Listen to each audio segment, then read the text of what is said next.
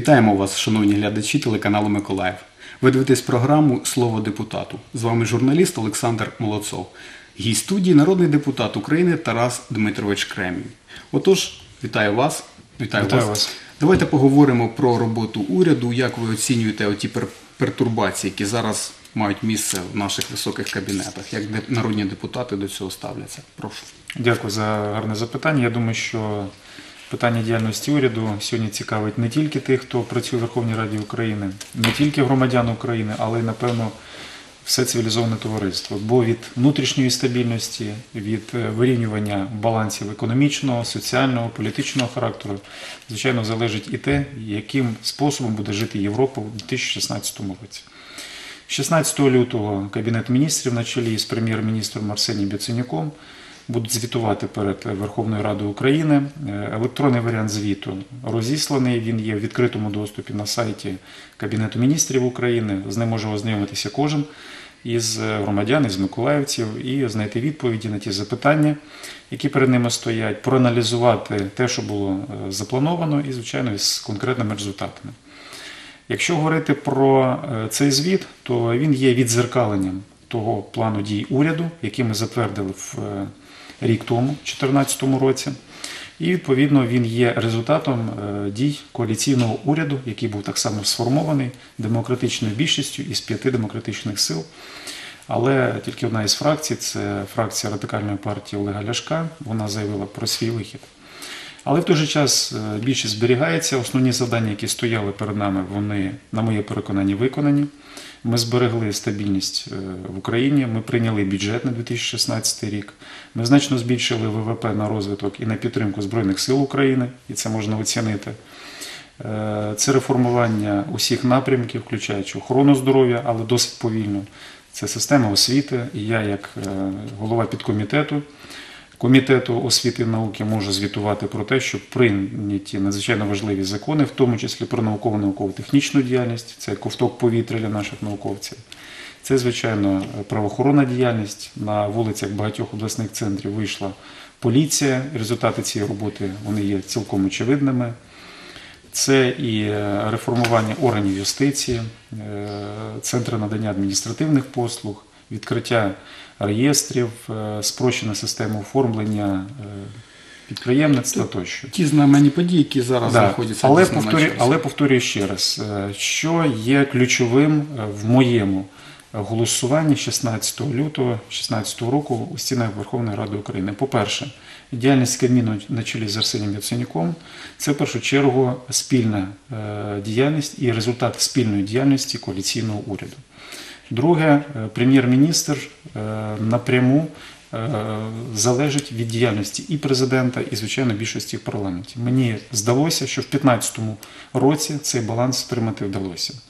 По-третє, звіт уряду це пряме виконання того плану дій уряду, який було затверджено в 2014 році. І найголовніше, про що хотілося б сказати, це звичайно сьогодні ми повинні демонструвати і світу, і всередині країни стабільність. Ми повинні наполягати на виконанні усіх завдань перед е, новою програмою в 2016 році. Арсеній Яценюк запропонував внести зміни до коаліційної угоди в частині е, переліку основних заходів, які будуть додаватися з чітким е, визначенням дат, на коли вони будуть реалізовані. Є пакет законопроєктів, близько 100 законопроєктів, які будуть прийняті вже найближчим часом. І вони будуть спрямовані, звичайно, на поліпшення тих або інших секторів е, нашої діяльності. Але повторюю ще раз. Е, Кабінет міністрів на чолі із прем'єром Арсенієм Яценюком це гарантія запорука стабільності в Україні, і це перспектива на тому, що і в 2016 році у нас буде надзвичайно велика міжнародна підтримка, і звичайно, у нас буде внутрішній баланс сил. Тарас Дмитрович, ви є представником політичної сили Народний фронт. Розкажіть, будь ласка, чим запам'яталася робота вашого осередку на обласному рівні? Що було виконано саме на Миколаївщині? Трошки більше року, як створено міжфракційне депутатське об'єднання Миколаївщина, до якого увійшли 11 народних депутатів, в тому числі недавно обраний за партійними списками народний депутат України Вадим Іванович Підберезняк. Кожен із е, наших колег він представляє той або інший профільний комітет. Є охорона здоров'я, освіти, науки, національної безпеки, оборони і транспортної. Я представляю е, освіти і науки, є колеги з аграрного комітету. Кожен із них е, курує відповідний напрямок, підготував низку законопроєктів. Частина з них вже стали законами, бо вони підписані президентом. Які ми поставили пріоритети перед собою на 2015 рік? Це, по-перше, підготовка проєкту кошнор- кошторисних документацій стосовно меліорації зрошення е, земель півдня України. В першу чергу йдеться і про Миколаївщину, і про Херсонщину, бо ми маємо Актуальне спільну питання, кліматичну зону. По-друге, протягом 2015 року було проведено немало переговорів, в тому числі і з міжнародними донорами, стосовно виділення коштів на відновлення трас національного значення, такі як Н-11, Н-13. Е, До квітня місяця, за переконанням міністра інфраструктури Пивоварського, буде готова проєктна кошторисна документація на будівництво цих доріг. І хочеться вірити, що за підтримки банку реконструкції розвитку ми отримаємо черговий транш на ремонт цих робіт. Що стосується залізничного транспорту, планується електрифікація е, нитки Долинська-Миколаїв, яка дозволить е, збільшити товарний потік. Що стосується аграрного сектору, е, і в тому числі морегосподарчого комплексу, е, ви знаєте, що за результатами 2015 року морські порти Миколаївщини, в першу чергу це е, морський торгівельний порт, а також спецморпорт Октябрьськ, вони вийшли у трійку лідерів. У трійку З обсягів перевалки вантажів. з обсягів перевалки. Я думаю, що цього року ми зможемо збільшити цю перевалку на 10-15% і вийти далеко за межі 20 мільйонів тонн на рік. Е, Що стосується поглиблення, ви знаєте про національний проєкт, який фактично започаткував президент України Петро Порошенко, будучи в Миколаєві кілька місяців тому. Що стосується е, інших напрямків, то я думаю, вони кожному знайомі. Е, Наше міжфракційне об'єднання Миколаївщина два тижні тому захистило професійну освіту від зменшення фінансування, і фактично ми відновили фінансування на рівні і обсягах минулого року. Але розуміючи те, що частина закладів професійної освіти фінансується за рахунок місцевого бюджету, е, ми хочемо привести у повну відповідність ринок праці із е, тим набором і відповідним замовленням е, цих закладів. Надзвичайно важливо для нас розуміти і те, в який спосіб ми будемо працевлаштовувати молодь. Бо якщо ми будемо ремонтувати дороги, якщо ми будемо займатися днопоглибленням, якщо у нас буде збільшена перевалка, якщо у нас буде розвиватися аграрний сектор у зв'язку із поліпшенням системи меліорації, то звичайно нам потрібні робітничі кадри.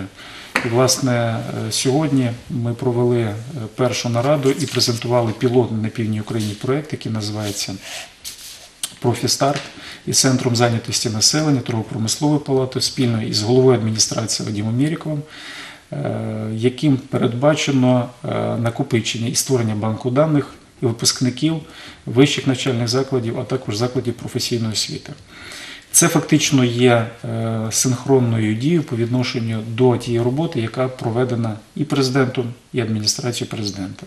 Ви знаєте, що на нещодавній зустрічі адміністрації президента було підтримано ініціативи Миколаївської облдержадміністрації, власне Миколаївської області стосовно кадрового резерву. Я переконаний в тому, що Україну повинні будувати молоді кадри, вони повинні інвестувати у ту країну, яку вони хочуть бачити. Давайте повернемось до питань політичних. Ем, Ваша точка зору, чи можливі дострокові вибори до Верховної Ради? Е, Насправді наша політична сила не боїться дострокових виборів, якщо президент е, готовий взяти на себе всю повноту відповідальності за їх проведення, у нього є на те всі повноваження. Е, Народний фронт не боїться дострокових виборів, він готовий на них іти. І ті скептики, які говорять, що Народний фронт не набере жодних відсотків, е, я хотів би їм нагадати історію нашої політичної сили Народний фронт. Е, В, на останніх парламентських виборах ніхто не вірив і нам давали, можливо, там 3-5%. Але ви знаєте, що Народний фронт набрав найбільшу кількість голосів у Верховній Раді, і ми маємо понад 80 народних депутатів. І це ж саме можна говорити і за попередні вибори. У нас е, сьогодні достатньо сил для того, щоб іти на нові парламентські вибори. Але проблема не в їх проведенні, а проблема в тому, як зберегти нинішню коаліцію, як е, знайти баланс між урядом, е, Верховною Радою і президентом, і в який спосіб поліпшити наші стосунки в частині оптимізації економічного, культурного і бізнес-клімату в державі. Дякую за коментар. Розкажіть, будь ласка, от ем, я розумію, що ви фахівець, напевне, не зовсім в цій сфері, але ви торкнулись питання ремонту доріг. Як ви взагалі оцінюєте цю проблему на Миколаївщині? І як ви думаєте, що треба робити в першу чергу? В які дзвони бити, щоб все ж таки дороги могли нести вантажівки, а люди могли мати нормальне транспортне сполучення з обласним центром? Дякую. Це, дуже гостре запитання. запитання. Ще будучи головою обласної ради в 2014 році, е, ми коли проводили робочі зустрічі з керівниками і облавтодору, і транспортної інспекції з перевізниками, я став завжди перші дві вимоги. По-перше, ми надзвичайно зацікавлені у збільшенні е, товарного потоку Миколаївською областю, бо вона є транзитною для півдня України, але в той же час треба розуміти, що на дорогах повинен бути порядок, а значить ваговий контроль. І по суті, незадовільний стан окремих е, ділянок наших національних трас якраз є наслідком того, що не було вагового контролю. Це є основний принцип, якого дотримуються всі е, країни світу, бо там є транспортний контроль, чи він є мобільний, чи він є стаціонарний. До речі, в проєкті е, ремонту доріг Н11-13 передбачено е, і мобільні, і стаціонарні вагові комплекси, які дозволять вимірювати, а за перезавантаження, то зрозуміло, що буде додаткова плата. Не може дорога витримувати 120-125 тонн на вісь, як це ми бачили буквально 2015 року. Мій колега Вадим Іванович Підберезняк е, запропонував внести зміни до Кримінального процесуального кодексу в частині е, збільшення і посилення відповідальності за перезавантаження, перевантаження е, транспорту, в тому числі е, в кінцевому результаті з конфіскацією транспортних засобів. Моє переконання полягає в тому, що треба сьогодні навести лад і, звичайно, стабілізувати ситуацію на всіх видах транспорту. Е, І на автотранспорті шляхом но поглиблення ми зможемо завантажити річковий Річковий. транспорт, а значить зняти навантаження. Ми повинні все-таки нарешті запустити е, міжнародний аеропорт Миколаїв, який частину вантажів зможе в нас забрати. Ну і, звичайно, залізниця. За рахунок електрифікації ми зможемо е, поліпшити роботу наших портів, наших елеваторів і в тому числі зберегти наші дороги. Скептики говорять, що це дуже дороге задоволення, адже я маю на увазі дороги, тому що той шлях, який зараз є на Кіровоградському напрямку, він фактично зруйнований, і фахівці кажуть, що треба його не просто поновлювати, а там треба робити по-новому. Тобто це і про- проектна кошторисна документація, і матеріали. Ем, Як ви думаєте, чи реально залучити потрібне фінансування? Наскільки я знаю, цього року, минулого року, 2015-го, було виділено 180 мільйонів, з них е, 50 було. Якщо не помиляюсь в цифрах, е, надійшло на місця, але ну, це, як на мене, це дуже мала сума. Як ви думаєте, як цього року буде? Чи всі ці проекти будуть підтримані грошима? Я дякую своїм колегам по парламенту і Борису Козирю, Олександру Жолобецькому, Ігорю Бриченку, Вадиму Підбрезніку. Разом з ними ми були неодноразово і в начальника Укравтодору і спілкувалися з міністром інфраструктури. Питання полягає в наступному. Е, Роботи треба активізувати і відновлювати, але державний бюджет готовий сьогодні йти на співфінансування із місцевими бюджетами, і це є фактично результат децентралізації. Місцеві бюджети готові сьогодні бути співучасниками фінансування ремонту доріг, тому міжнародні донори готові нам дати свою допомогу. Але нам не вистачає проєкту кошторисної документації. Вона, я думаю, все-таки буде у квітні-травні місяці, і з того моменту ми готові приступити до ремонту доріг. Ну, ще одне е, питання такого обласного характеру, в принципі, напевно, ви про це чули.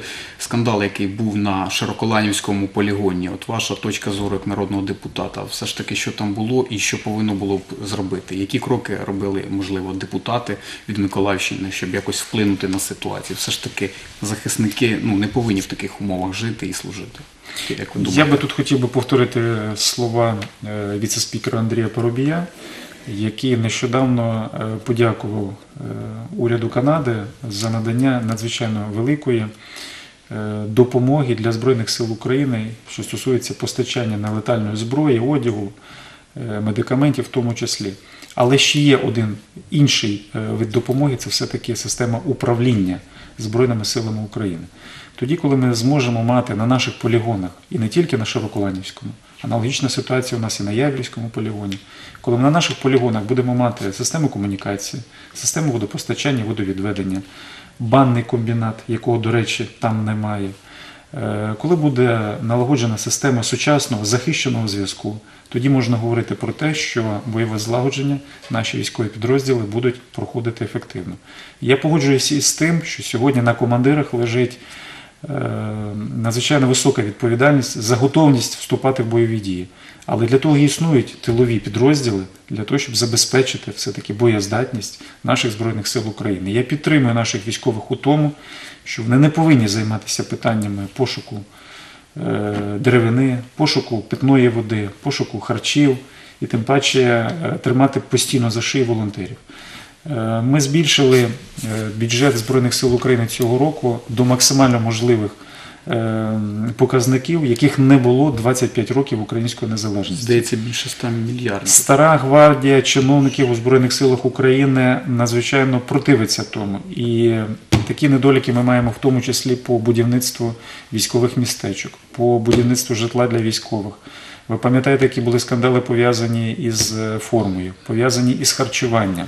І тільки за рахунок міжнародної допомоги в системі управління і логістики Збройних сил України можна чогось досягти. Я повторю ще раз, що я особисто контролюю і процес, що стосується е, будівництва і реконструкції 117-го містечка для морської піхоти. На превеликий жаль, було відкрито близько 10 кримінальних справ по фактам корупції на будівництві. І тому питання наших збройних сил це питання не тільки нашої безпеки, але й нашої культури. Я хотів би прояснити для себе ще одне питання. В середині нашої бесіди ви розповідали про зміни щодо фінансування професійно-технічних установ у місті. Тобто зараз е, на даний момент все повернулося на, як кажуть, круги своя. Тобто фінансування цих установ іде з міністерства, а не на балансі міста. Так? Наскільки я знаю, в Миколаєві два, 13. 13, 13 таких установ, і наскільки я знаю, це передали місту, але тепер все ж таки е, це ви відстояли цей момент, що повинно фінансуватися. От про це докладніше розкажіть, будь ласка. Якщо говорити про професійну освіту, то є заклади комунальної форми власності і, звичайно, державної форми власності. Якщо говорити про їхнє розташування, е, то треба зрозуміти, що відповідно до е, бюджетної політики можна фінансувати лише мешканців того населеного пункту, де знаходиться е, безпосередньо навчальний заклад. От уявіть собі 13 професійних закладів міста Миколаєва, де навчається частина власне мешканців міста Миколаєва, частина мешканців сусідніх районів, можливо, навіть інших областей. А якщо додати сюди е, незахищені пласти, якщо додати сюди дітей-сиріт або напівсиріт, то зрозуміло, що величезне навантаження тільки на бюджет міста Миколаєва. Тому питання бюджету все-таки е, зробити перегляд основних бюджетних статей і встановити відповідний порядок. Але моя позиція полягає в чому? Допоки не буде закону про професійну освіту, допоки не буде узгоджена е, робота кожного закладу освіти, е, вносити зміни у фінансове забезпечення таких закладів, очевидно, що не варто. І ми, повторюю ще раз, ми відстояли фінансування на належному рівні, ми виплатили зарплату, е, ми виплатили стипендії, ми виплатили матеріальну допомогу, відновили харчування е, соціально незахищеним. Але наперед нам все-таки треба узгодити і синхронізувати питання ринку праці із тими кадрами, які є у нас.